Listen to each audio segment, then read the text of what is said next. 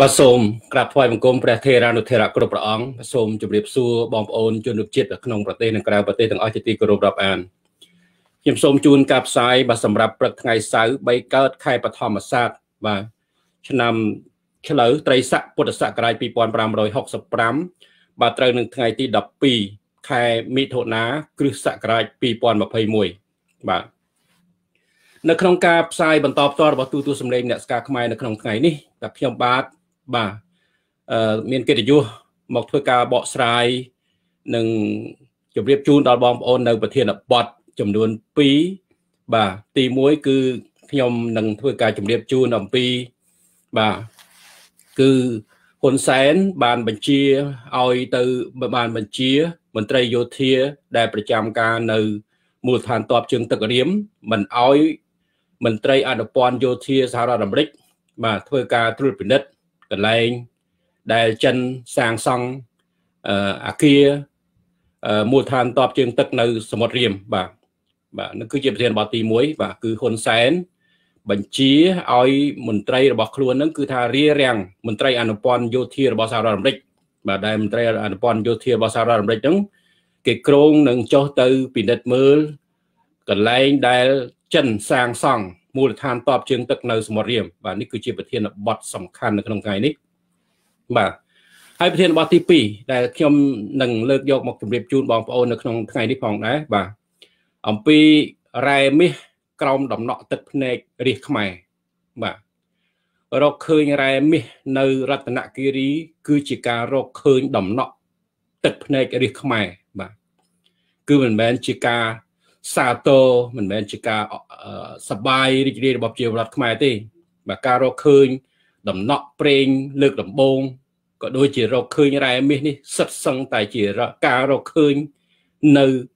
ដំណក់ទឹកភ្នែករាជខ្មែររកឃើញនៅឈាមខ្មែរហូររៀងរាល់ថ្ងៃបាទមិនចេះចប់មិនចេះហើយមិនមែនជាការដែលសបាយរីករាយសម្រាប់ប្រជាពលរដ្ឋទេ ដែលការរកឃើញទាំងនេះ បាទពីព្រោះទាំងនេះគឺសុទ្ធសឹងតែជាការរកឃើញ មិនមែនដើម្បីយកមកកសាងប្រទេសជាតិទេ គឺសម្រាប់យកទៅបំរើឲ្យមនោគមវិជ្ជាបំរើឲ្យបរទេសណាបាទយកមកបំរើឲ្យបពពួកក្រុមគ្រួសារខ្លួន បាទមិនដែលឃើញថារបានទាំងអស់នឹងផលប្រយោជន៍ទាំងអស់នឹងធ្លាក់មកដល់ដៃប្រជាពលរដ្ឋយកមកកសាងប្រទេសជាតិឯណាបាទលុយខ្ចីចិន លុយកសាងផ្លូវរាប់រយរាប់ពាន់គីឡូម៉ែត្រខ្ចីចិនហើយរឿងអីដែលអួតថាអឺយកធនធាន ដែលលក់បានទាំងអស់នោះយកមកកសាងអភិវឌ្ឍប្រទេសជាតិពីព្រោះខ្លួនឯងថាកុំតែបានចិនទេបាទអញ្ចឹងបាទខ្ញុំមានប្រធានបទ2ដែលត្រូវលើកយកមកជម្រាបជូនបងប្អូននៅក្នុងថ្ងៃនេះហើយខ្ញុំសូមអនុញ្ញាតអានឈ្មោះប្រិយមិត្តទូទស្សនិកជនយើងដែលគាត់ចូលរួមតាមដានទស្សនានៅក្នុងថ្ងៃនេះបាទ គឺខ្ញុំឃើញដំបងគេនោះគឺថាបាទមិនដឹងជាបងឬក៏ប្អូនឬក៏លោកលោកស្រីទេដែលគាត់ឈ្មោះជាភាសាថៃនោះគាត់ចូលមើលមុនគេបាទហើយគាត់ចូលមើលជាប់ជាប្រចាំផងដែរនៅការផ្សាយរបស់ទូទស្សន៍សម្លេងអ្នកស្ការខ្មែរហើយមានបាទបងស្រីចន្ទ្រាវតីលី បាទគាត់ចូលមើលដំបងគេផងដែរបាទហើយបាទហើយតារា NH ពីប្រទេសបារាំងបាទកំងសាវ៉ាកំងសាវ៉ាតារា NH បាទ ça va bien merci à vous beaucoup ចេះប្រាំងខ្លះខ្លះដែរបាទ comment ça va បាទ comment s'appelle le tuy អាទុយយកបែលជូនលោកបាទប្រាំងណាគេសួរថា comment s'appelle le tuy តើអ្នកឯងឈ្មោះអីខ្ញុំមិនដឹងឆ្លើយការនោះរៀនអត់ដឹងមិនបាទអត់អត់ចេះឆ្លើយគឺថាអាប៉ែលអឺဇឺមកប៉ែលយកយកប៉ែលជូនលោកបាទ ហ្នឹងហើយរៀនបារាំងរៀនដែរណាតុំអងតុំដឺតុំអីណាត្រតុំអីដែរណាបាទកាលនោះណាបាទរៀនច្រឡុកច្រឡំច្បុកច្បល់គ្នារៀនយួនផងរៀនអីផងអីកាលនៅសាលាវិទ្យាល័យកាលនោះរៀននៅទួលតពូងគេដាក់ឲ្យរៀនយួនមកចេះខ្លះដែររៀនមិនចេះឲ្យតែរៀនគឺចេះបាទ កាលនោះគេឲ្យសាលាខ្លះរៀនសូវៀតសាលាខ្លះរៀនយួនបាទខ្ញុំចាប់ឆ្នោតមានអីចំរៀនយួនញ៉ាអែមដោចេះចេះអែមតែនយីណាចេះតែបាទអូនឈ្មោះអីអែមតែនយីមិនមែនខ្ញុំយួនទេបងប្អូនព្រោះធ្លាប់បានរៀនយួននៅកាលនៅវិទ្យាល័យទួលតពុងបាទកាលនៅរៀនយួន មានអ្នកខ្លះរៀនសូវៀតបាទអញ្ចឹងណាបងប្អូនអញ្ចឹងយួនជេអីបន្លំទៅរួចអីចេះណាហើយកុំច្រឡំមកជេអីត្រូវត្រូវបាទបាទឬឬចេះចេះបានមករកបាយហូបដែរមិនមែនថាអន់ប្រហែលដែរណាបាទចេះមករកបាយហូបបានដែរហ្នឹងពាក់ព័ន្ធទៅតារា NH ហ្នឹងខ្ញុំឃើញគាត់សារសួរខ្ញុំជាភាសាបារាំងបាទគាត់សួរកំងសាវ៉ាអញ្ចឹងទៅណាបាទគឺថា កំងសាវ៉ាហ្នឹងប្រែមកថាបើអង់គ្លេសថា how are you អ្នកអង់គ្លេស how are you បារាំងថាកំងសាវ៉ាបាទខ្មែរថាសុខសบายទេសុខសบายជាទេបើយួនថាខ្វែហងចេះយួនទៀតបបពួកនឹងគេយកខ្ញុំទៅវាយថាខ្ញុំយួនទៀតអើយបាទគាត់វាព្រោះតែត្រូវតែចេះយើងបើមិនចេះទេឲ្យពួកវាបោកយើងមិនបានយើងត្រូវរៀនចេះឲ្យកាន់តែច្រើនភាសាកាន់តែល្អ កុំឆោតថាអីចេះភាសាណាមួយមិនអត់ប្រយោជន៍ទេបាទយើងយើងត្រូវរៀនគ្រប់ភាសាទាំងអស់តាមពិតទៅបាទនេះ6 7ភាសាប្រវត្តិចេះច្រើនកាន់តែល្អពីព្រោះដើម្បីដឹងអំពីល្បិចកលផ្សេងផ្សេងរស់ស៊ីភ្នាក់ងារស៊ើបអង្កេតយើងទៅណាមកណាអីដឹងទាំងអស់អាណាជេអាណាអីនិយាយដើមនិយាយអីដឹងទាំងអស់ហើយនិយាយភាសាអីក៏អាចចេះកូរ៉េអាចចេះជប៉ុនដាក់បាយទាំងអស់មកប្រើបាទហ្នឹងហើយ អញ្ចឹងបារាំងបានខ្លះតិចតួចទេណាបងប្អូនមិនច្រើនពេកទេបើនិយាយជ្រៅពេកទៅគឺអត់អត់ចេះច្រើនទេបាទបាទគាត់មកដូរបាយហូបបានណាបងប្អូនបាទនៅតារា NH បាទហើយគ្រីស្ទីណាកង បាទហើយគ្រីស្ទីណាប៉ុលបាទឈ្មោះស្តៀងគ្នាបាទគ្រីស្ទីណាកងគ្រីស្ទីណាប៉ុលបាទហើយបងស្រី Penelope Johnson ហើយបាទសារាជវណ្ណៈបងសារាជវណ្ណៈពីបាទសារាជវណ្ណៈគាត់ពីប្រទេស New Zealand បាទ សារិចវណ្ណៈនឹងគាត់ធ្លាប់បាទសារិចវណ្ណៈគាត់ធ្លាប់រៀនភាសាសូវៀតបាទបាទសូវៀតដូចខ្ញុំអត់អត់ចេះប្រមាណទេសូវៀតបាទកាលនោះដូចចេះមួយម៉ាត់ពីរម៉ាត់ឥឡូវចង់ភ្លេចភ្លេចបាត់ហើយសូវៀតបាទសូរិចវណ្ណៈបាទហ្នឹងហើយបាទហើយខ្ញុំឃើញបាទយ៉ានខ្មែរបាទហើយមុកបពីបាទអ្នកមីងសុកមួយបាទហើយនឹងចននីសន្តានាបាទហើយសម្ដេច សុគន្ធរៈឡុងបាទសម្ដេចសុឆន្ទៈមនសិការជាតិបាទសុគន្ធរៈឡុងគាត់ច្រើនតម្លាយពេលពឹកពឹកឡើង ទៅធ្វើការបាទអញ្ចឹងគាត់មិនសូវមានពេលចូលជាមួយខ្ញុំឥឡូវថាបាទកុកហៅតែឯងក្លែងហៅតែឯងបាទកំសត់ឯកាបងប្អូនប៉ុន្តែមិនអីទេមានការចូលរួមពីបងប្អូនអញ្ចឹងទៅក៏វាជាបាទបាទសប្បាយរីករាយមួយយ៉ាងដែរណាបងប្អូននិយាយលេងជាមួយបងប្អូនបាទសួរសុខទុក្ខបងប្អូនបាទ យើងមើលប៉ះពួកណាដែលខមមិនមកអីក៏យើងដាក់បន្តិចទៅដែរណាស្វាគមន៍គេតិចដែរអ្នកដែលខមមិនមកណារៀងមិនសមរម្យយើងក៏ស្វាគមន៍ខ្លះដែរមិនទុកទេមិនទុកទេហើយថ្ងៃមុននោះខ្ញុំដាក់ទៅប៉ះខណ្ឌសវណ្ណវាយទៅកូនចៅខណ្ឌសវណ្ណគេរាយការប្រាប់ងុកវាងអឺខណ្ឌកូនចៅខណ្ឌសវណ្ណមួយឈ្មោះជើងរន្ទះនោះបាទមួយឈ្មោះជើងរន្ទះចូលមកថ្ងៃមុននោះបាទចូលមកទៅខ្ញុំដាក់វាខ្លាំងទៅបាទ អុកសមឿនអុកអីនោះគេទៅរាយការខណ្ឌសវណ្ណខ្ញុំថាអាកម្មខណ្ឌសវណ្ណវាវារាល់ថ្ងៃវាញុះញង់បំបីបំបាក់ជាតិខ្មែរបាទវាផ្សាយនឹងបំពល់ព័ត៌មានខ្ញុំវាយបាទហើយសិតតែវារៀនស្អីថ្នាក់ទីបញ្ចប់នៅស្រុកខ្មែរស្អីណាអានេះជំនាញការយួនសិតអឺគេហើយកាត់យកទៅដាក់ទៀតណាខណ្ឌសវណ្ណ អរគុណយកទៅប្រម៉ូតនៅเพจគណៈបព្វជិជនឲ្យគេស្គាល់សម្ដេចសេងរតនាកាន់តែច្រើនតិចទៅពីព្រោះសម្ដេចហ៊ុនសែនរបស់ឯងនោះវាអេតិបិសោសម្ដេចសម្ដេចដេកជោកុយរបស់ឯងនោះគឺថាអេតិពិសោហើយទៅទៅមុខលេងងួយហើយអញ្ចឹងយកប្រម៉ូតសម្ដេចសេងរតនាបន្តិចទៅខណ្ឌសវណ្ណមិនអីទេហើយឲ្យពួកខណ្ឌសវណ្ណអីបានស្គាល់បងណាបាទហ្នឹងហើយគឺ ខ្ញុំខ្ញុំខ្ញុំដាក់ឲ្យខណ្ឌសវណ្ណខ្លះថ្ងៃនោះទៅខណ្ឌសវណ្ណគេយកកាត់ទៅដាក់ page គេគេថាហ្នឹងហើយខ្ញុំនិយាយថាខណ្ឌសវណ្ណហ្នឹងពួកព័ត៌មានបំពល់ព័ត៌មានណាបំបីបំបាក់សង្គមជាតិខ្មែរអានោះគេកាត់យកទៅដាក់ឲ្យកូនចៅគេវាយខ្ញុំឲ្យកូនចៅគេខមមិនវាយខ្ញុំប៉ុន្តែទៅមិនរួចទៅមិនរួចទេគេកាន់តែស្គាល់ខ្ញុំ ហើយដូចគេដូចគេយកដូចខ្ញុំទៅឲ្យឲ្យឲ្យអ្នកគាំទ្រខណ្ឌសវណ្ណនឹងដឹងពីទង្វើអាក្រក់របស់ខណ្ឌសវណ្ណនឹងពីមុនគេអត់ដឹងថាខណ្ឌសវណ្ណនឹងបោកណាក្បត់និយាយញុះញង់បបៃបាក់ខ្មែរដល់ពេលខណ្ឌសវណ្ណកាត់យកទាំងយករបស់ខ្ញុំទៅអញ្ចឹងអាកូនចៅនោះថាជួយតាមដានមើលអាតានឹងមែនតា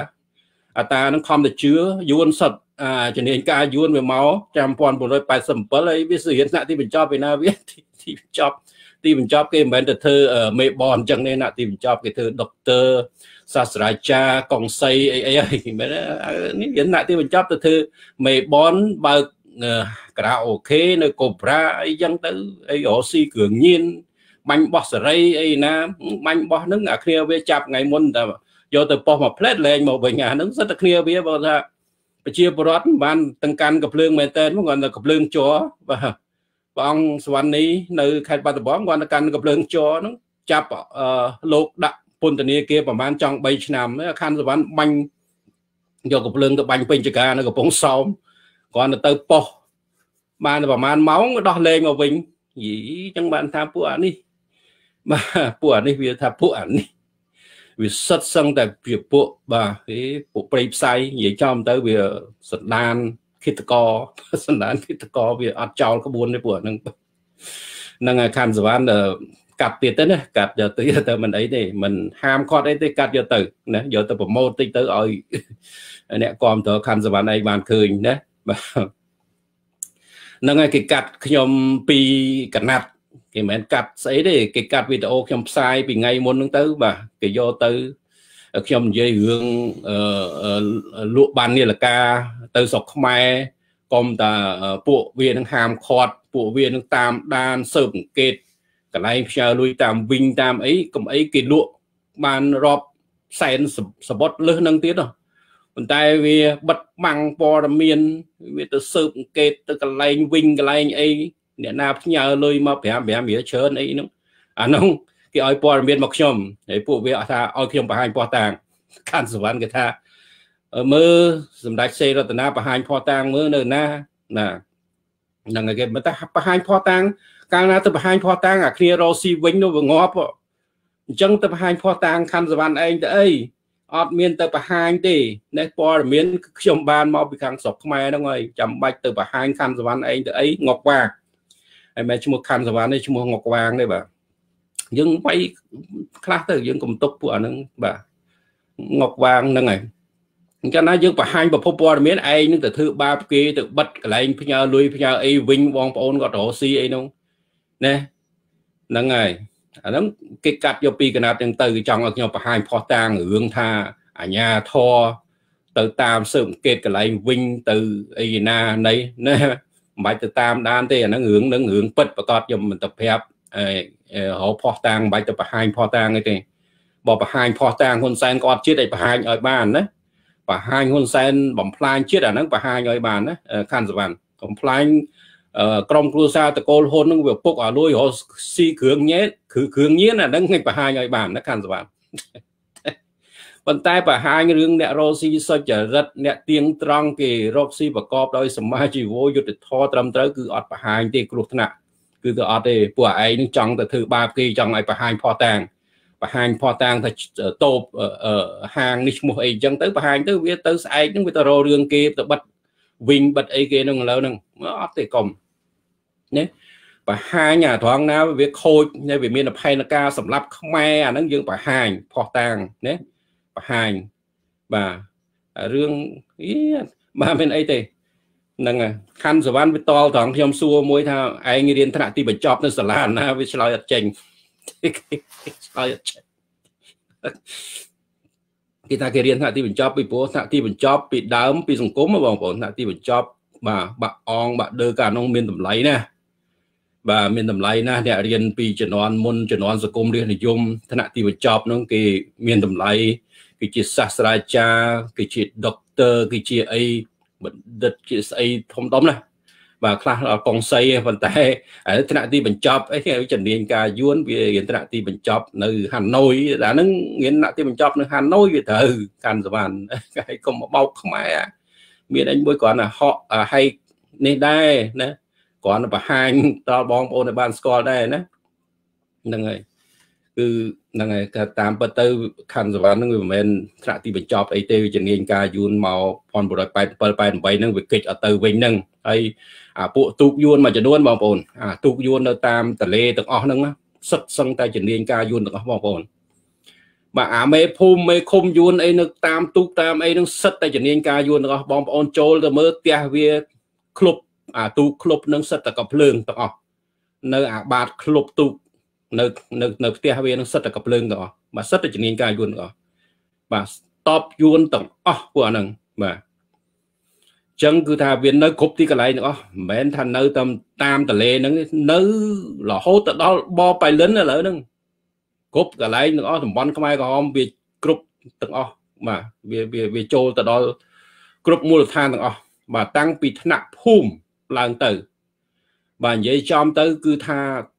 ជំនាញការយួននឹងវានៅតាំងពីថ្នាក់ភូមិរហូតទៅដល់ថ្នាក់កំពូលថ្នាក់កំពូលកន្លែងណាវាំងបាទនិយាយច្រើនទេបាទ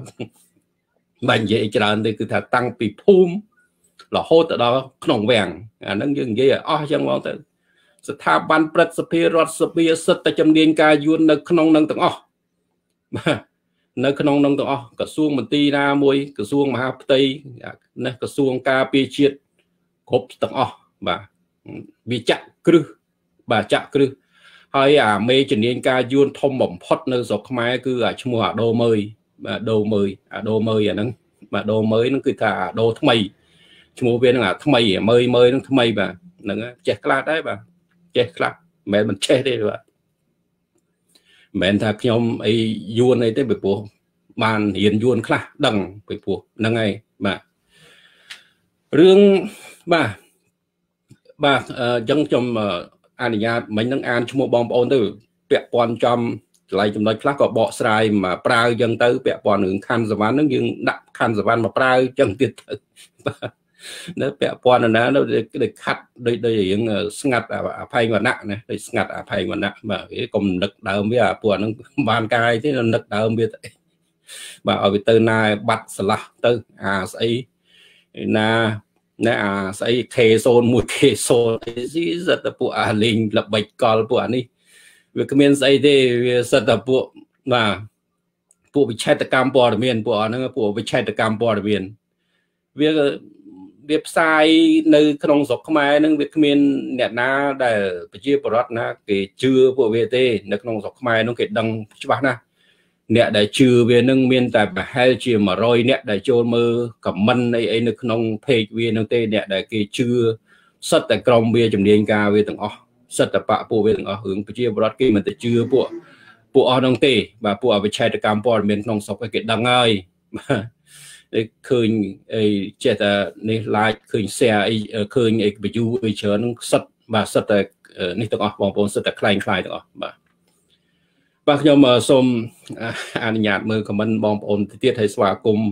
មិញទៅបានភ្ញៀវបែ3 4 5នាក់ហ្នឹងក៏ជាប់មាត់ទៅបាទម្លងបងប្អូនខ្លះចឹងទៅសូមខន្តីអភ័យទោសណាមិនបានអាន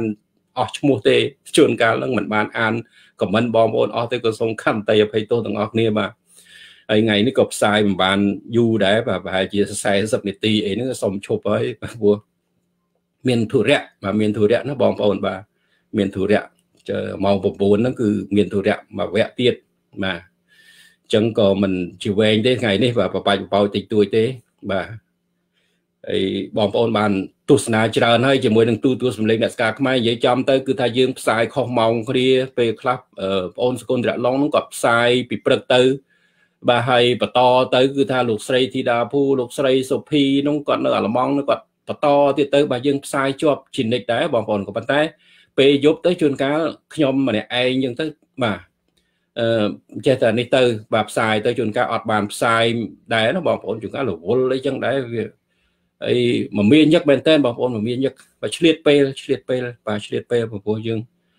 អឺបើមិនឆ្លៀតទេគឺថាយើង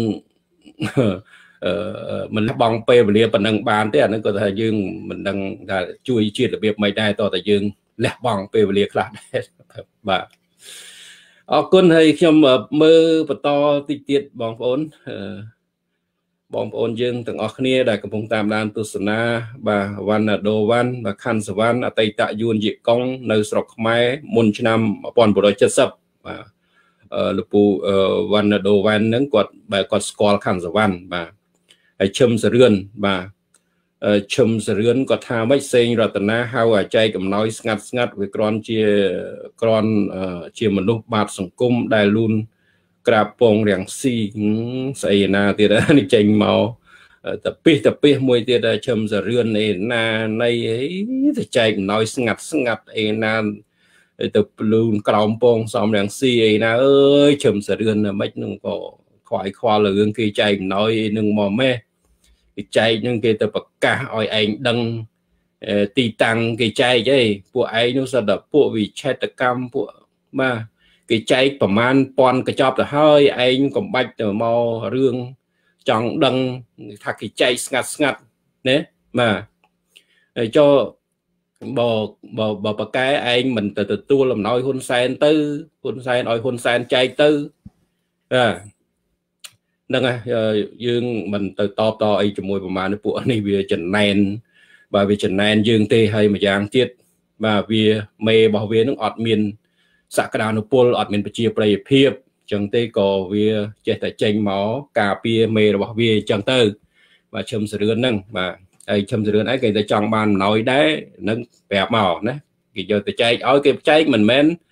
ប្រកាន់និន្នាការគណៈបកនយោបាយគេចែកទូទៅទាំងអស់ គណៈបកណាក៏គេចែកដែរគណៈបកគប់គណៈបកទាំងអស់បាទឲ្យតែប្រជាពលរដ្ឋខ្មែរគេចែកទាំងអស់គេមិនមែនដូចហ៊ុនសែនយកទៅចែកឲ្យតែបកពួកគណៈបកប្រជាជនទេហើយគណៈបកប្រជាជនខ្លះណែមានម្សិលមិញម្សិលមួយថ្ងៃបងប្អូនក៏ខមមិនថាមានកូនមានធ្វើពេទ្យមានធ្វើស្អីផងគ្រូបង្រៀនផងស្អីផងតែមានបានក្រីក្រណាបាទណាឈឹមសរឿននេះតែមានបានបានក្រីក្រហើយប្រជាពលរដ្ឋក្រីក្រពិតប្រកបបែរជាគាត់អត់មានបានទៅវិញណាឈឹមសរឿន អាហ្នឹងមិនដែរបើសួរហ៊ុនសែនមើលណែពួកខ្លះវាមាន ខ្លះមានសិទ្ធិលុយស៊ីជីទៅអាប្រាមួយចិត្តអីសិទ្ធិមានបានបានក្រីក្រណាឈឹមសរឿនប្រជាពលរដ្ឋក្រមែនតើអត់មានបាទអត់មានបានក្រីក្រណាបាទគេចែកគឺចែកគ្រប់បាទគ្រប់ទាំងអស់គ្រប់និន្នាការគណៈបកយោបាយគ្រប់ទាំងអស់ឲ្យតែពលរដ្ឋខ្មែរនិយាយចំទៅអំណោយមនុស្សធម៌ ដែលយើងលក់នាឡិកាដៃលោកប្រធានស្ដីទីសំរងស៊ីបាននេះគឺជាអំណោយមនុស្សធម៌ហើយយើងធ្វើការបែងចែកទៅប្រជាពលរដ្ឋដែលកំពុងរងគ្រោះដោយជំងឺ Covid-19 នៅក្នុងប្រទេសកម្ពុជាបាទយើងបានបែងចែកទៅខេត្តមួយចំនួនហើយនៅក្នុងប្រទេសកម្ពុជា បាទប៉ុន្តែយើងព័ត៌មានដែលថាចែកកន្លែងណាកន្លែងណាគឺថាខ្ញុំសូមមិនអនុញ្ញាតធ្វើការបង្ហាញជូនជាសាធារណៈនៅទីនេះបានទេ មានតែពលរដ្ឋដែលគាត់ទទួលបានអំណោយទេដែលគាត់ដឹងថាយើងចែកខ្ញុំនិយាយតែប៉ុណ្្នឹងបាទមានតែពលរដ្ឋដែលគាត់អ្នកទទួលបានទេបានដឹងថាយើងធ្វើការបែងចែកទៅដល់ពួកគាត់ណាអញ្ចឹងកុំបាច់មកឆ្លេចសួររឿងហ្នឹងណាពួកឯងសិតតែពួកអឺនេះទេណាបាទពួកចេះតែចេញមកញុះមកញុះញង់ណាសួរចាក់រឹសចាក់គុលចង់ដឹងខ្លាចគេស៊ីលុយដាច់អីអីណា អេណាខ្លាចគេយកលុយណាយកលុយប្រជាពលរដ្ឋនឹងយកទៅចែកគ្នាចាយពុកលួយគេមិនធ្វើដូចហ៊ុនសែនថោកទាបអញ្ចឹងទេគេមិនមែនទៅធ្វើដោយពួកជនក្បត់ជាតិណាដែលហ៊ុនសែននឹងប្រមូលលុយប្រជាពលរដ្ឋប្រមូលលុយមន្ត្រីរាជការប្រមូលលុយពីអុកញ៉ាហ្នឹងឃើញគ្មានយកទៅចែកឲ្យប្រជាពលរដ្ឋទេណាវាយកទៅបើកប្រាក់ខែយកទៅពង្រឹងអំណាចវានោះបាទអានោះទៅទៅអញ្ចឹងណាបងប្អូនអញ្ចឹងណា ហ្នឹងហើយប៉ះឈឹមសរឿនយើងដាក់ឈឹមសរឿនទៅប៉ះណាយើងដាក់បន្តិចទៅបាទកែវច័ន្ទដាវ៉ាន់បាទពួកចាំមើលបណ្ដាំបណ្ដាំណាស់បាទពួកវាចាំមើលតែយើងបាទពួកវាអត់មានជួយស្អីទេវាចាំតែមើលកំហុសយើងវាចាំតែបែងជើងយើងបាទវាគ្មានចិត្តជួយជួយប្រជាពលរដ្ឋប៉ុន្តែវាចាំតែមើលកំហុសយើងបាទចាំតែមើលកំហុសបាទណាពួកអាចាំចាំមើលកំហុសគេ អាខ្លួនឯងអត់បានធ្វើស្អីទេណាចំណែនគេឈ្នានេះគេ គេធ្វើបានជោគជ័យឯងចំណែនគេបាទខ្ញុំមើលខមមិនបងប្អូនបន្តទៀតបាទយាបមានបាទសួស្ដីសម្ដេចលខោនសេងរតនាបានធ្វើស្ដេចដោយសារគេឲ្យលេងលខោនយាបមានទៀតយាបមាន បាទមើលទៅប៉ះប៉ះចំសិតកូនចៅខាន់សវណ្ណមកឡើងមកគេយកទៅនិយាយការទៀតហើយបាទកូនចៅខាន់សវណ្ណមកនេះមិញនឹងអីឈឹមសរឿនឥឡូវនឹងមកយាបមានឯណាមកមួយទៀតសិតកូនចៅខាន់សវណ្ណគេវាមកចំណែននឹងតួតួនីតិស្ដេចសម្ដេចរបស់ខ្ញុំអញ្ចឹងណាដោយសារមេរបស់វានឹងគឺសាបអស់អត្តពលណាគេលែងហៅសម្ដេចអីអគ្គមហាសេនាបាត់ដីនឹងទៅអគ្គសេនា សេនាបតីចោនឹងទៅគេលែងហៅណាបាទអញ្ចឹងគេងាកមកគ្រប់គ្រងណាសម្ដេចសេរតនាគេស្គាល់ច្រើនអញ្ចឹងទៅវាចំណែននិន្ទាគេមិនសិតតែស្អីស្ដេចលខោនអីណាអាស្ដេចលខោនក៏គ្រាន់បើដែរគ្រាន់បើជាងពួកអាស្ដេចក្បត់ជាតិអាស្ដេចបំផ្លាញជាតិទេបងប្អូនវាវាគ្រាន់បើដែរមិនអីទេវាដាក់ងារយើងហៅយើងថាស្ដេចលខោនហ្នឹងក៏បាទមិនមិនជាបញ្ហាដែរបាទហ្នឹងហើយ បាទហ្នឹងហើយមើលខមមិនបងប្អូនបបាច់ប៉ោយតិចឥឡូវខ្ញុំបាទកែវច័ន្ទអីកែវច័ន្ទដាវនអីណាគេថាអីកៅចន្ទវ័ន20លើ30ម៉ឺនវា20បើលុយរាប់លានវាមិនខ្វល់បាទគាត់ខមមិននេះបាទបាទជ្រោយថេងមកជំរាបសួរហើយយ៉ាន់ខ្មែរបាទគឿនចិនបាទកៅចន្ទវ័នបាទ អរគុណឥឡូវបងបងប្អូនខ្ញុំសូមចូលប្រធានបទយើងបើកុំអោយខាតពេលខ្ញុំមានពេលខ្លីផងបាទវាខ្ញុំមានពេលខ្លីហើយខ្ញុំជម្រាបជូនព័ត៌មាន2ពាក់ព័ន្ធទៅបាទទី1គឺបាទទៅអំពីព្រឹត្តិការណ៍នៅខាងសមុទ្ររៀមនៅខាងបាទនៅខាងមូលដ្ឋានតបជើងទឹកនៅរៀមបាទ ដែលបងប្អូនបានតាមដានទស្សនាក៏ដូចជាបានស្ដាប់នៅវិទ្យុអាស៊ីសេរីបងប្អូនបានដឹងព័ត៌មានហ្នឹងបានជាព័ត៌មានហ្នឹងគឺថាអំពីមន្ត្រីអនុព័ន្ធយោធាសហរដ្ឋអាមេរិកហ្នឹងគេចុះទៅធ្វើការត្រួតពិនិត្យបាទបាទគេចុះទៅមានន័យថាគេចុះទៅមិនមែនស៊ើបអង្កេតអីទេគេទៅពិនិត្យមើលកន្លែងដែលមូលដ្ឋានតបជើងទឹករៀមហ្នឹងវាមានការសាងសង់ដោយកងតបដោយដោយដោយដោយចិនបាទ គឺថាអាគារដែលជំនួយរបស់សហរដ្ឋអាមេរិកហ្នឹងគឺថាអាគារហ្នឹងគឺថានៅថ្មីទៅសាងសង់ឆ្នាំ2012ហ្នឹងទេបាទថ្មីថ្មីហ្នឹង2012បាទអាគាររបស់អាមេរិកគឺសាងសង់មមបាទគុណភាពមានគុណភាពរឿងរបស់អាមេរិកធ្វើគឺមានគុណភាពប៉ុន្តែអាមេរិកគេមិនដែលធ្វើដូចចិនដូចយួនដូចអីអឺ បានប្រហែលឆ្នាំខូចពុកអីចឹងទេ បាទគឺគេសាងសង់គឺសុទ្ធសឹងតែជាវត្ថុធាតុដើមមានគុណភាព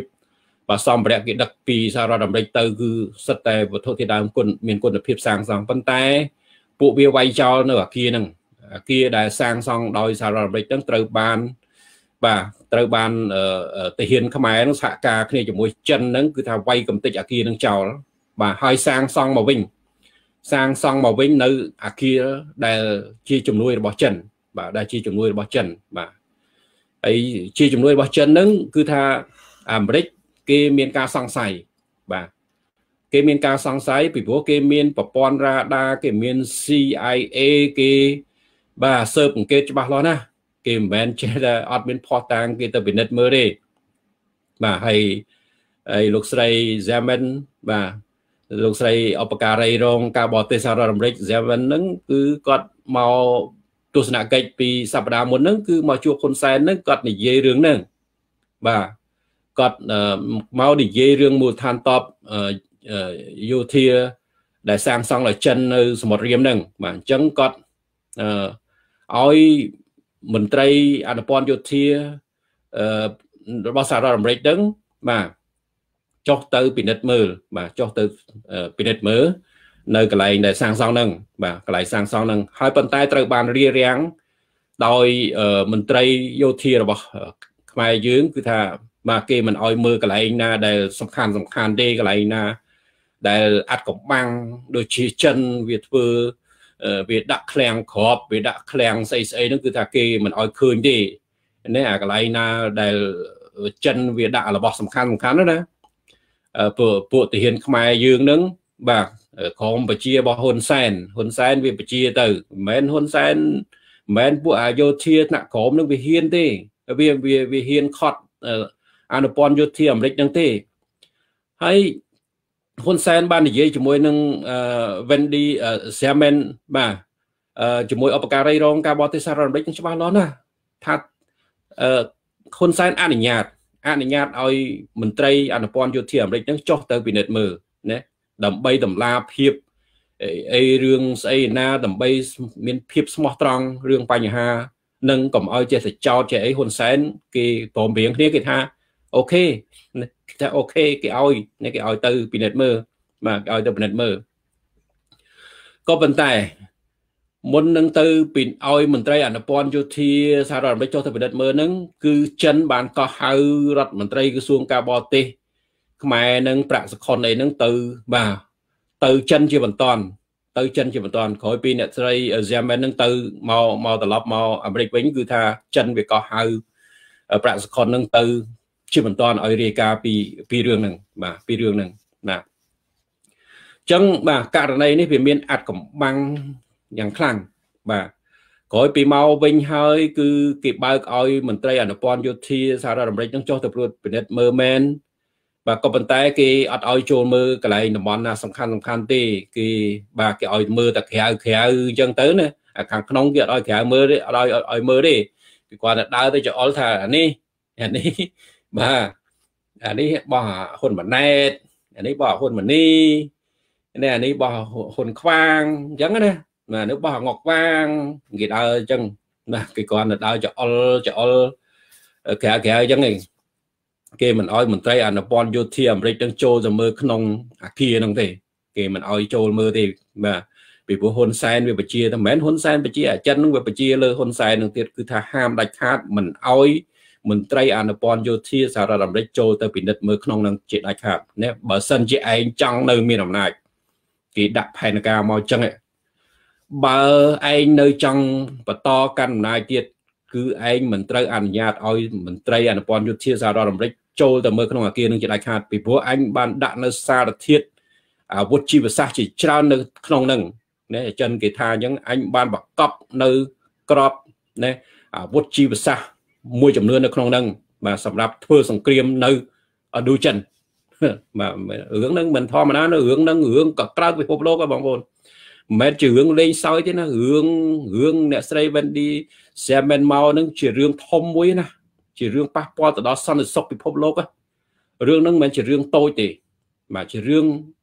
គ្រោះថ្នាក់មួយសម្រាប់ពិភពលោកហើយសង្គ្រាមអាចនឹងកើតឡើងនៅប្រទេសខ្មែរយើងហ្នឹងនៅប្រទេសខ្មែរយើងហ្នឹងរវាងចិននិងសហរដ្ឋអាមេរិកហ្នឹងបាទបាទអាហ្នឹងវាជាការចាំបាច់បាទពីព្រោះណា សហរដ្ឋអាមេរិកហ្នឹងគេមកហ្នឹងគេគេដឹងអស់ហើយគេមានរបាយការណ៍គេមានស្អីអស់ហើយមិនបាច់លាក់បាំងគេទេមិនបាច់បិទបាំងគេទេ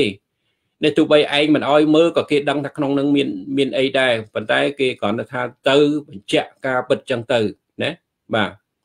ហើយឥឡូវហ្នឹងបិទមិនអោយមើលមន្ត្រីអនុព័ន្ធយោធារបស់សហរដ្ឋអាមេរិកទាំងអស់ហ្នឹងក៏ត្រឡប់មកវិញក៏ត្រឡប់មកវិញទាំងអស់គ្នាបាទអត់បានមើលគឺថាអត់មានលទ្ធផលអីទេគឺរបាយការណ៍គឺ អត់បានមើលកន្លែងសំខាន់សំខាន់អីចឹងណាបាទបាទកន្លែងសំខាន់សំខាន់ចឹងត្រឡប់មកវិញក៏ប៉ុន្តែគេបានដាក់កំណត់មួយឲ្យទៅខាងរដ្ឋាភិបាលហ៊ុនសែននឹងបន្តទៀតឲ្យដាក់កម្មវិធីថ្មីគេនឹងចុះទៅពិនិត្យមើលភាសាទៀតបាទឲ្យមន្ត្រីអនុព័ន្ធមន្ត្រីអនុព័ន្ធយោធាសហរដ្ឋអាមេរិកនឹងចុះនឹងចុះទៅពិនិត្យមើលភាសាទៀតនៅកន្លែងនោះបាទកន្លែងសមុទ្រកន្លែងដែលចិនសាងសង់ហ្នឹងបាទ ពីព្រោះវានៅក្នុងហ្នឹងវាមាន ការសង្ស័យជាច្រើនបាទអញ្ចឹងគេដាក់បាទកំណត់ពេលម្ដងទៀតដើម្បីទៅពិនិត្យមើលប៉ុន្តែបើសិនជាគេទៅមើលលើក្រោយឧទាហរណ៍ថាសប្តាហ៍ក្រោយគេទៅមើលបាទបែរជាឯងដកចេញនៅសម្ភារៈមួយចំនួនដកចេញនៅ chip វីដេអូ chip computer អា chip បញ្ជាតួលេខតិនន័យផ្សេងផ្សេងអីអីផ្សេងផ្សេងនៅក្នុងហ្នឹងណា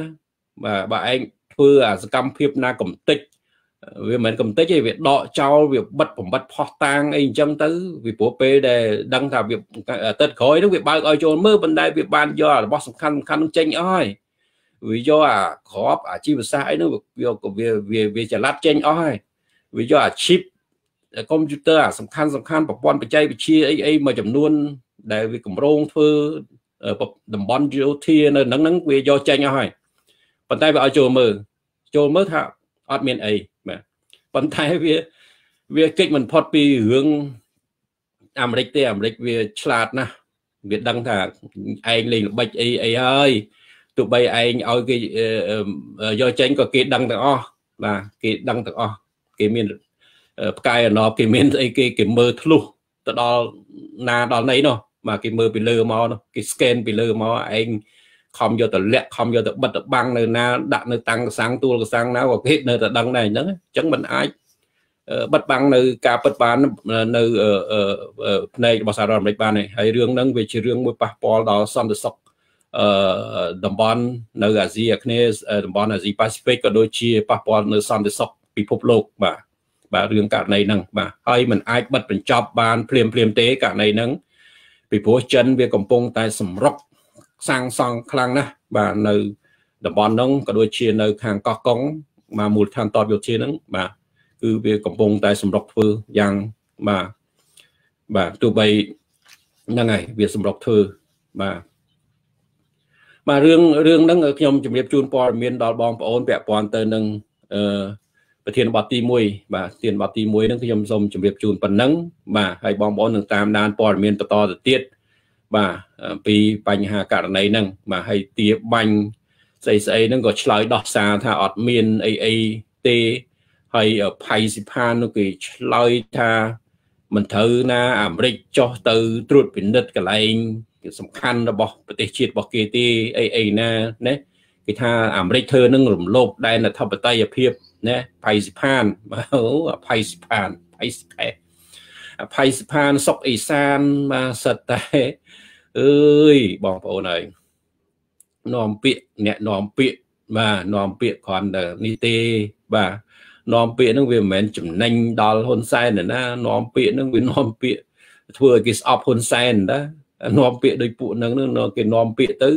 គេជេរដល់ហ៊ុនសែនគេជេរដល់ភ័យសិផាននឹងសុកអេសាននឹងនាំពាក្យអញ្ចឹងអញ្ចឹងណាបាទនាំពាក្យផ្ទុយវាវានិយាយសទៅខ្មៅខ្មៅទៅជាស បាទណាហើយអញ្ចឹងភ័យសិផាននឹងគេថាអាមេរិកមិនត្រូវមកលូកលន់ដែនអធិបតេយ្យភាពប្រទេសកម្ពុជាទេ មិនត្រូវមកស៊ើបអង្កេតកន្លែងតបកន្លែងអីគេណាចុះត្រង់វាឲ្យចិនមកធ្វើមូលដ្ឋានតបយោធានឹងអាណាមករំលោភដែនធិបតេយ្យភាពអាណាត្រង់តែវាបើកដៃឲ្យចិនឲ្យយួនចូលរាល់ថ្ងៃហ្នឹងអ្នកណារំលោភដែនធិបតេយ្យភាពអ្នកណាឥឡូវឆ្លើយមកមើល ផៃសិផានសុកអេសានងុកវាងបេងធីងបេងធីងដោយបេងធីងមួយទៀតឲ្យបេងធីងឆ្លើយមើលឲ្យបេងធីងឆ្លើយមើលឥឡូវអ្នកណារំលោភដែនធិបតេយ្យភាពអ្នកណាបាទខ្លួនឯងឲ្យគេសាងសង់នេះបើកឲ្យសាងសង់មូលដ្ឋានតបយោធាបាទមិនមែនគេមកជួយនឹងដើម្បីពង្រឹងសមត្ថភាពកងទ័ពខ្មែរទេរាល់ថ្ងៃហ្នឹងកងទ័ពចិននៅសមុទ្ររៀមហ្នឹងមិនតិចទេមិនតិចទេណាបាទ វាមានគ្រប់សពបែបយ៉ាងមានឡានមានស្អីគេគ្រប់បងប្អូននៅនៅក្នុងណាបាទអញ្ចឹងมันអាចបិទបាំងនៅភ្នែករបស់សហរដ្ឋអាមេរិកក៏ដូចជាភ្នែកអន្តរជាតិមួយចំនួនទេរឿងហ្នឹងនោះបាទពីព្រោះជារឿងសន្តិសុខពិភពលោកបាទណារំលោភដែនអធិបតេយ្យភាពកម្ពុជាផៃស៊ីផានបាទផៃស៊ីផោមបាទហ្នឹងហើយ វាចេះតែឆ្លើយអញ្ចឹងទៅវាឆ្លើយបាទបង្រៀងដានបាទនឹងបងប្អូនខ្ញុំមានប្រធានបទទី1ពាក់ព័ន្ធទៅនឹងរឿងដែលពួកពួកមន្ត្រីយោធាហ្នឹងក្រោមបញ្ជារបស់ហ៊ុនសែនហ្នឹងមិនមែនទាបាញ់ហ៊ុនម៉ាណែតទេហ៊ុនសែនវាបញ្ជាទៅទេបាទគឺរារាំងមិនអោយមន្ត្រីអនុព័ន្ធយោធាសហរដ្ឋអាមេរិកហ្នឹងចុះទៅពិនិត្យមើលកន្លែងសាងសង់មូលដ្ឋានតបយោធានៅសមុទ្ររៀមបាទ ពីព្រោះវាមានអាចកំបាំងអីមួយនៅក្នុងហ្នឹងបាទនៅក្នុងតំបន់ហ្នឹងបាទបាទហ្នឹងហើយបងប្អូនបាទខ្ញុំមានប្រធានបទទី1ប៉ុណ្ណឹងជម្រាបជូនប៉ុណ្ណឹងហើយខ្ញុំសូមអនុញ្ញាតចូលប្រធានបទទី2បាទប្រធានបទទី2ពាក់ព័ន្ធទៅនឹងបាទការរកឃើញរ៉ែមាសនៅរតនគិរីបងប្អូនបានឃើញ បានស្ដាប់ព័ត៌មានបានឃើញនៅការផុសអីផ្សេងផ្សេងបាទ គឺថាឥឡូវនេះគេរកឃើញរ៉ែមាសបាទរ៉ែមាសទៀតហើយបាទរកឃើញរ៉ែមាសនោះដូចជារកឃើញប្រហែលដងមកហើយឥឡូវនឹងរកឃើញទៀតបាទរកឃើញទៀតបាទរកឃើញរឡើងបំផ្លាញឡើងអាលាយអស់ប្រភ្នំមាសនៅភ្នំជីនៅកំពង់ធំមួយយ៉ាងរង្គាលហើយឥឡូវគេថាគេទៅរកឃើញមួយទៀតនៅរតនគិរីបាទឥឡូវហ្នឹងគឺកំពុងតែឲ្យក្រុមហ៊ុនមួយអូស្ត្រាលីនោះរុករកបាទរុករក បាទប្រមូលនៅផលមាសហ្នឹងបាទក្នុងមួយឆ្នាំនោះគេអាចរកបាន2តោនមាសបាទស្មើនឹងប្រហាក់ប្រហែលនឹង40លានដុល្លារបាទរ៉ែមាសដែលគេរកឃើញហ្នឹងគឺថាគេអាចរកចំណូលបាន ពីការធ្វើអាជីពកម្មរ៉ែមាសហ្នឹងបាទពីក្រុមហ៊ុនរបស់អូស្ត្រាលីហ្នឹងគេនឹងបង់ឲ្យរដ្ឋាភិបាលហ្នឹងក្នុងមួយឆ្នាំ40លានដុល្លារបាទដូចបងប្អូនបានស្ដាប់នៅការបកស្រាយរបស់លោកអាឡិចក៏ដូចជា បាទបណ្ឌិតសេរីបាទបណ្ឌិតសេងសេរីគឺបណ្ឌិតសេងសេរីនិងលោកអាឡិចហ្នឹងគឺបាទអាឡិចខុនសាឡេសហ្នឹងគឺគាត់បានឆ្លើយនៅក្នុងវិទ្យុអាស៊ីសេរីបងប្អូនបានស្ដាប់ហើយអំពីការរកឃើញរ៉ែមាសស្អីស្អីផ្សេងផ្សេងហ្នឹងគឺថាគាត់បានបកស្រាយពិភាក្សាគ្នាយ៉ាងក្បោះក្បាយផុសផុលបាទខ្ញុំសូមកោតសរសើរបណ្ឌិតសេងសេរីដែរបាទគាត់ហ៊ានបកស្រាយនៅអ្វីជាការពិតបាទបណ្ឌិតត្រូវតែនិយាយការពិតកុំនិយាយការពី បណ្ឌិតសេងសេរីគាត់ក្លាហានដែរយើងឃើញទៅការវិភាគរបស់គាត់នោះគឺថាវាចំចំណុចច្រើនគាត់វិភាគទៅរឿងតែការរកឃើញរ៉ែមាសដែលចំណូល40លានដុល្លារក្នុងមួយឆ្នាំហ្នឹងបាទវាវាមិនស្មើនឹងការដែលបាត់បង់ EBA ការអនុព័ន្ធអនុគ្រោះការបិទការបាត់បង់ប្រព័ន្ធអនុគ្រោះពន្ធ EBA 20%នោះទេ បាទការរកឃើញនោះបាទការរកឃើញការរកបាននៅចំណូលនៃការរ៉ែមាស40លានដុល្លារក្នុងឆ្នាំនោះគឺវាមិនស្មើនឹងពាក់កណ្ដាលនៃការបាត់បង់ការអនុគ្រោះពន្ធ20%នោះទេបាទគឺថាតតររណ្ដៅរ៉ែមាសនឹងឲ្យបានប្រមាណនេះបាទលោកមនិតសេងសេរីនឹងគាត់ថាតតររ៉ែមាសឲ្យបានប្រមាណ20រណ្ដៅអីនោះបានស្មើនឹងការអឺ បាត់បង់ប្រព័ន្ធអនុគ្រោះពន្ធ EBA 20%បាទដែលចំណូលពីប្រព័ន្ធអនុគ្រោះពន្ធ EBA ហ្នឹង20%ហ្នឹងស្មើនឹងប្រមាណជា6 800លានដុល្លារណាបងប្អូនច្រើនណាច្រើនណា8 800ទៅ1000លានដុល្លារនោះរឿងគ្រាន់តែបាត់បង់ប្រព័ន្ធអនុគ្រោះពន្ធ EBA ហ្នឹងបាទអញ្ចឹងបងប្អូនខ្ញុំដាក់ប្រធានបទថាការរកឃើញរ៉ែមាសនេះគឺជា ជាការរកឃើញបាទនៅអ្វីដែលជាវាមិនមែនជាការមួយយើងសបាយរីករាយទេវាការរកឃើញរ៉ែមាសក៏ដោយការរកឃើញដំណក់ប្រេងដំបងក៏ដោយក៏ដោយគឺសុទ្ធសឹងតែជាអ្វីដែលជាវាមិនមែនជាការធ្វើឲ្យមានបានសម្រាប់ប្រទេសជាតិសម្រាប់ប្រជាពលរដ្ឋវាសុទ្ធសឹងតែជាការមួយធ្វើបានធ្វើឲ្យប្រជាពលរដ្ឋកាន់តែរងទុក្ខវេទនាបាទ អញ្ចឹងដូចជាយើងថាសบายចិត្តណាឃើញប្រទេសជាតិយើងឃើញថាប្រទេសយើងមានរ៉ែប្រេងកាតយើងសบายណាថានឹងប្រេងនឹងចុះថោកប្រេងនឹងចុះថោកអីបើតាមពិតប្រេងឡើងប្រមាណនេះឡើងថ្លៃប្រមាណ100ទៀតណាបងប្អូនដែលគាត់ផុសមកណាបាទឡើងឡើង500រៀលទៀតដែរបាទក្នុង1លីត្រនៅនៅក្នុងស្រុកខ្មែរណាបាទរកឃើញរ៉ែប្រេងកាតរកឃើញរ៉ែអីស្បែកជាប្រេងហ្នឹងវាឡើងថ្លៃទៅវិញបាទ ចឹងណាបងប្អូនបាទហើយពេលពេលប្រេងសាំងគេចុះថោក50សេន50រៀលគឺថានាំគ្នាសែងនាំគ្នាសបាយរីករាយប៉ុន្តែដល់តែប្រេងឡើង500រៀលគឺថាអត់មានអ្នកណានិយាយសោះអត់មានអ្នកណាសែអត់មានអ្នកណាអីសោះបាទអត់មានអីសោះនេះបងប្អូនយើងនៅក្នុងប្រទេសណាបាទបើថាបើគេចុះ50រៀលវិញអូនិយាយពីសែនិយាយពីសបាយចិត្តណា ដល់តែពេលគេឡើងថ្លៃ500រៀលក្នុង1លីត្រវិញគឺថាស្ងាត់តែជ្រាបអត់មាន ប្រតិកម្មអត់មានផុសអីសោះបាទហ្នឹងហើយបាទអញ្ចឹងគឺថាយើងមានមោទនភាពបើសិនជាក្នុងនាមយើងជាពលរដ្ឋខ្មែរយើងសប្បាយចិត្តណាប្រទេសជាតិយើងមានព្រេងដងព្រេងរ៉ែដងព្រេងកាតមានស្អីមានរ៉ែមាសមានរ៉ែស្អីស្អីគ្រប់សពបែបយ៉ាងគឺថាយើងសប្បាយចិត្តប៉ុន្តែវាផ្ទុយស្រឡះបាទផ្ទុយស្រឡះ យើងគ្រាន់តែបានតែដឹងទេប្រជាពលរដ្ឋយើងគ្រាន់តែបានតែដឹងគ្រាន់តែបានតែលឺទេប៉ុន្តែអាផលពីធនធាននោះគឺវាមិនបានធ្លាក់មកចូលក្នុងកញ្ចប់ថវិកាជាតិក៏ដូចជាសម្រាប់បំរើឲ្យវិស័យសាធារណៈផ្សេងផ្សេងសម្រាប់ប្រជាពលរដ្ឋគឺថាអត់មានទេគឺ0តែម្ដងបាទអញ្ចឹងវាអត់មានអីគួរឲ្យភ្ញាក់ផ្អើលទេហើយការរកឃើញនៅដងរ៉ែមាសនេះគឺគ្រាន់តែជាការប៉ះបើមួយនៃការអឺ នៃការខ្សែធនរបស់អ្នកដែលរកអ្នកដែលរកឃើញដំណក់ប្រេងអ្នកដែលធ្វើអាជីវកម្មរ៉ែប្រេងណាដែលវាខ្សែធនណាគឺថាគេយកអាហ្នឹងយកមកបិទបាំងអាមួយនោះបាទអាប្រេងអាអ្នកដែលរកស៊ីប្រេងកាតនោះវាវាមិនទាន់រកស៊ីអីបានប្រហែលផងឥឡូវវាប្រកាសខ្សែទុនបាទវាដួលហើយឥឡូវហ្នឹងគេគេយកអាអានេះមួយទៅយកទៅប្រក្រាបអានោះប្រសាបអានោះទៅកុំឲ្យប្រជាពលរដ្ឋហ្នឹងដឹង រឿងអាខ្សែទុនអានោះមួយណាគេយកអារ៉ែមាសហ្នឹងយកមកបាទបង្ហាញប្រាប់ប្រជាពលរដ្ឋយើងទៅប៉ុណ្ណឹងបងប្អូនបាទនឹងខ្ញុំមើលខមមិនបងប្អូនបន្តិចបាទរីបាទ Wendy ដេគុណកណាថ្វាយអង្គមបងវិឆ័យវងវងសាព្រះអង្គវិឆ័យវងសាគឺថាព្រះអង្គបានខមមិនថា700 700ដុល្លារក្នុងមួយឆ្នាំតិចមែនដេគុណ700 700លានដុល្លារក្នុងមួយឆ្នាំដេគុណ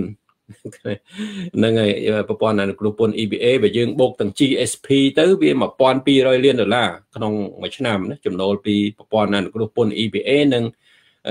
ប្រព័ន្ធអនុគ្រោះពន្ធ GSP យើងបូកចូលគ្នាទៅគឺ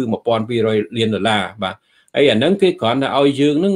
ស្ដារនៅលទ្ធិប្រជាធិបតេយ្យការគោរពសិទ្ធិមនុស្សអីអីផ្សេងផ្សេងប្រព័ន្ធយុត្តិធម៌អីផ្សេងផ្សេងណា បាទឲ្យដំណើរការគណៈបកសង្គ្រោះជាតិអីឡើងវិញអញ្ចឹងទៅគេគ្រាន់តែមិនដាក់ជាលក្ខខណ្ឌអីទេអានឹងវាមិនជាធ្ងន់ទេធ្វើតែប៉ុណ្្នឹងទៅគេគឺថាយើងមិនបាច់ចាំបាទទៅនេះទេបាទយើងថាមានអារឿងរបានដងរ៉ែរងអីហ្នឹងគឺថាយើងក៏វាសបាយដែរវាវាចូលរួមចំណែកទាំងអស់គ្នាបាទហើយបើយើងបានប្រព័ន្ធអនុគ្រោះពន្ធទៀតវារឹតតែខ្លាំងខ្លាសម្រាប់ប្រទេសជាតិរបស់យើងណា បាទហ្នឹងណាបងប្អូនបាទហើយខ្ញុំក៏មិនមែនទៅចំទាស់នឹងការដែលរកឃើញឬមួយក៏អីទេប៉ុន្តែសុំឲ្យអាការដែលធ្វើហ្នឹងវាបានផលប្រយោជន៍មកប្រទេសជាតិរបស់យើង បានមកប្រជាពលរដ្ឋរបស់យើងកុំឲ្យវាធ្លាក់អាធនធានផលប្រយោជន៍ទាំងអស់ហ្នឹងទៅតែលើក្រមគូសាបពុតកូលហ៊ុនណាបាទហ្នឹងបងប្អូនកុំឲ្យតែអ្វីដែលបានទទួលបានផលមកវាធ្លាក់ទៅតែក្រមគូសាតកូលហ៊ុនបពុតកូលហ៊ុន បាទវាបានទៅចិនបានទៅយួនវាមិនបានមកប្រជាពលរដ្ឋខ្មែរយើងប្រជាពលរដ្ឋខ្មែរយើងនៅតែក្រលំបាកវេទនារាល់ថ្ងៃក៏ក៏ច្រកឆ្នាំងចង់បានហើយឮថាប្រទេសសិទ្ធិមានមាសអូប្រទេសខ្មែរសុប្រទេសសវណ្ណភូមិបាទប្រទេសសវណ្ណភូមិនឹងប្រទេសមាសបងប្អូនប្រទេសមាសប្រទេសពេជ្រនៅបបៃលិននោះគឺថាអាលាយហើយទៅនាងមួយនោះទៅមួយទៀតគឺបានសិមុំនោះទៅមួយទៀតគឺអាលាយតែម្ដងបាទ ភ្នំយ៉ាតភ្នំអីហ្នឹងគឺថាលាយទាំងអស់បាទវាធ្វើអាជីវកម្មខ្ទេចទាំងអស់ពីពីពីជំនាន់មុនគឺថាសបោណាត្បូងបបៃលិនត្បូងអីហ្នឹងគឺបាទល្បីល្បាញមែនតើណាប្រទេសយើងណាបាទប៉ុន្តែឥឡូវហ្នឹងគឺថាខ្ទេចហើយបានសៃមុំទៅហ្នឹងវាទៅបើកហាងសៃខូចបើកអីពេញការ៉ាអូខេពេញទៅដល់តំបន់ខ្មែរក្រហមឯនឹងពេលពេញអស់ហើយបាទហើយវាទៅយកចាប់យកដីប្រជាពលរដ្ឋអីគ្រប់ទាំងអស់បាទ ហ្នឹងហ្នឹងបាទហ្នឹងហើយបងប្អូនបាទខ្ញុំមានការចូលរួមប៉ុណ្ណឹងក្នុងថ្ងៃនេះហើយខ្ញុំមើលខមមិនបងប្អូនហើយបើមានអ្វីបងប្អូនមានសំណួរអ្វីសូមមេត្តាដាក់សំណួរមកហើយខ្ញុំបាទ ADNDN គេថាពួកពូកែរកកន្លែងមកបោកណាស់បាទជន់ពីការបាទ អរគុណបងប្អូនទាំងអស់គ្នាដែលបានចូលរួមតាមដានទស្សនាការផ្សាយបន្តផ្ទាល់នៅក្នុងថ្ងៃនេះបាទខ្ញុំថ្ងៃនេះមានការផ្សាយខ្លីទេព្រោះខ្ញុំមានការរវល់នៅម៉ោង9បាទសូមខន្តីអភ័យទោសដែលបានផ្សាយបានយូរហើយនឹងរងចាំនៅការពិភាក្សាគ្នានៅថ្ងៃស្អែកបន្តទៀតបងប្អូនបាទខ្ញុំក៏សូមអរគុណដល់ការចូលរួមរបស់បងប្អូននៅក្នុងការផ្សាយនៅក្នុងថ្ងៃនេះបាទខ្ញុំមានព័ត៌មានប៉ុណ្ណឹងមកជម្រាបជូនហើយរឿងយួនរឿងអី បាទសានវត្តនៃយួនដែលគេឲ្យឡើងគោកឡើងអីហ្នឹងគឺឥឡូវហ្នឹងវាថែមចេះថែមថ្ងៃទៀតហ៎បាទថែមថ្ងៃទៀតឥឡូវហ្នឹងឮថាថែម2ថ្ងៃទៀតហ៎មុនហ្នឹងថាក្រងបដិញវាហ្នឹងចេញនៅថ្ងៃទី12ហ្នឹងឥឡូវហ្នឹងបាទនេះយួនហ្នឹងគេសុំ2ថ្ងៃថែមទៀតបាទ2ថ្ងៃវាហ្នឹងមិនស្រួលមិនស្រួលហ្នឹងវាឡើងទៅ2ខែ2ខែឡើងដល់2ឆ្នាំ2ឆ្នាំដល់20ឆ្នាំនៅនឹងវាមិនទៅណាវាទេ វាមិនអាចដេញវាបានទេបាទគ្រាន់តែនេះជាយុទ្ធសាស្ត្រមួយ ដើម្បីធ្វើឲ្យហ៊ុនសែននឹងមានប្រជាប្រិយភាពតិចឡើងវិញតិចទៅណាគេថាគេថារដ្ឋាភិបាលហ៊ុនសែននឹងខ្លាំងគាត់បើណាហ៊ានដេញយួនថាវាថាហ៊ុនសែនអាយ៉ងយួនរឿងអីហ៊ុនសែនទៅដេញយួនគេពិចារណាគេគេគិតបងប្អូនយើងគិតចឹងយើងចោទថាហ៊ុនសែនអាយ៉ងយួនខ្ញុំកាជះយួនបានអំណាចដោយសារយួនហើយហេតុអីហ៊ុនសែនវាទៅហ៊ានដេញចវាយវាចេញ ដេញមេរបស់វាចេញបាទនឹងគ្រាន់តែជាល្បិចកលគេមួយគេធ្វើដើម្បីទាញនៅប្រជាប្រិយភាពឡើងវិញឲ្យហ៊ុនសែនតែប៉ុណ្្នឹងទេបាទហ៊ុនសែនវាដាបមែនតែនទៅណាវាអន្តរជាតិវាអាម៉ាស់មុខនៅលើពិភពលោកវាធ្ងន់ធ្ងរពេកទៅប្រជាពលរដ្ឋហ្នឹងក៏លែងគ្រប់គ្រងលែងអីទៅ អន្តរជាតិហ្នឹងគឺក៏គេដាក់សម្ពាធកាន់ធ្ងន់ទៅអញ្ចឹងទៅវាអស់អត្តពលអីអញ្ចឹងគ្រាន់តែធ្វើព្រឹត្តិការណ៍នឹងមួយទៅដើម្បីអឺឲ្យហ៊ុនសែននឹងវាឡើងកោតតែបន្តិចប៉ុណ្្នឹងទេវាអត់មានស្អីចម្លែកទេបាទអញ្ចឹងវាមិនមែនតែដេញមេវាដេញចវាយវាចេញទេវាមិនហ៊ានទេបាទហ៊ានត្រូវថ្មោងឥឡូវហ្នឹងបាទត្រូវថ្មោងលើបាទបាទអរគុណណាបងប្អូនប៉ុណ្ណឹងខ្ញុំមានការចូលរួមប៉ុណ្ណឹងសូមគ្រប់ជូនពរថ្លែងអំណរគុណដល់បងប្អូនទាំងអស់ដែលបានចូលរួមតាមដានទស្សនា ការផ្សាយបន្តផ្ទាល់នៅក្នុងថ្ងៃនេះសូមជូនពរសូមជួបផ្ទះតែសេចក្តីសុខសេចក្តីចម្រើនបាទពុទ្ធពរទាំង4ប្រការគឺអាយុវណ្ណៈសុខៈពលៈកំបីគ្លៀងគ្លាតហើយបាទ